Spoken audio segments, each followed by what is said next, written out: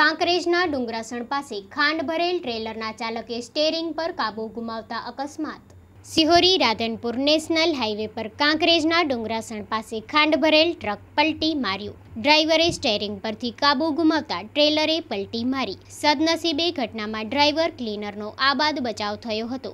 રાધનપુરથી ડીસા તરફ જઈ રહેલ ટ્રેલર પલ્ટી મારતા અફરાતફરી ફેલાઈ હતી ખાંડ રોડ પર વેરવખેર થતા ટ્રાફિક જામ થઈ ગયો હતો